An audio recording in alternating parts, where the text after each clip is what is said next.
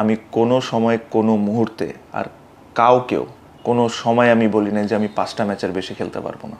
একটা মিথ্যা কথা, ভুল কথা, আমি জানি না এই কথাটা কেমনে মিডিয়াকে ফিট করা হয়েছে। I was looking forward to play again I was looking forward to the world cup এগুলা। ন্যাচারালি আপনি যখন এতদিন পর ক্রিকেট খেলবেন প্লাস আপনি একটা ইঞ্জুরির থেকে উঠে আসছেন, আপনি নর্মালি আপনার ডিসকমফর্ট আপনার থাকবে ব্যথা আপনার শরীরে থাকবে আই এম নো ডিফারেন্ট আমারও তাই হয়েছে।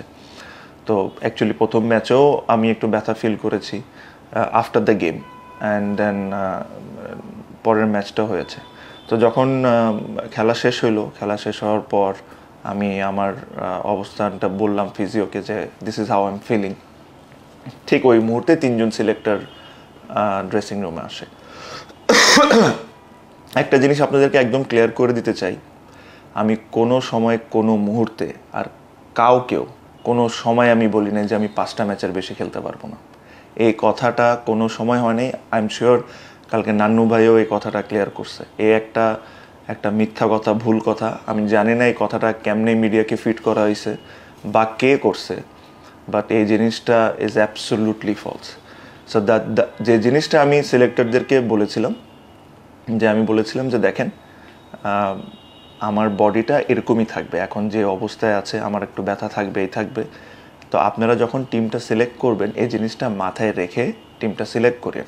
এটারও একটা রিজন আছে।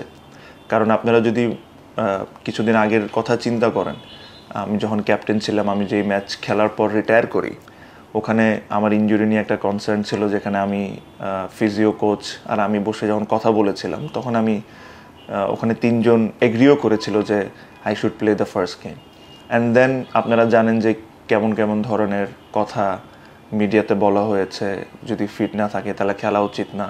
আমার কাছে ওই সময় খুব অবাক লাগছে এই কারণে, কারণ আমরা ওই রুমে সবাই এগ্রি করছিলাম। So I didn't wanted to create another controversy এই কারণেই আমি আমার তরফ থেকে উইথ ফুল অনেস্টি আমি সিলেক্টরদেরকে এটাই বলেছি যে আপনারা জিনিসটা মাথায় রেখে আমাকে সিলেক্ট করেন। কারণ হলো, যদি আমি ওয়ার্ল্ড কাপে যাই, এমন হতে পারে আমি নয় ম্যাচ খেলি, কোনো সমস্যা ছাড়া। কারণ ওয়ার্ল্ড কাপের ফিকচারটাই এরকম ছিল যে প্রতিটা ম্যাচের পর পর অ্যাটলিস্ট তিন চার দিনের একটা গ্যাপ আছে apart from the first two games আর এটা নিয়ে যেরকম কোনো কিছু না, আবার এমনও হইতে পারে, আর এটা যে কোনো সুস্থ মানুষের সাথেও হইতে পারে যে দুইটা ম্যাচ খেলার পর ইনজুর্ড হয়ে গেল তাকে দেশে পাঠিয়ে দিল, তার রিপ্লেসমেন্ট গেল। রিপ্লেসমেন্ট তো আপনি অবশ্যই নিতে পারবেন যদি আপনি ইনজুর্ড হয়ে থাকেন। সো এই কারণে আমি এই জিনিসটা ক্লিয়ারলি তাদেরকে বলি।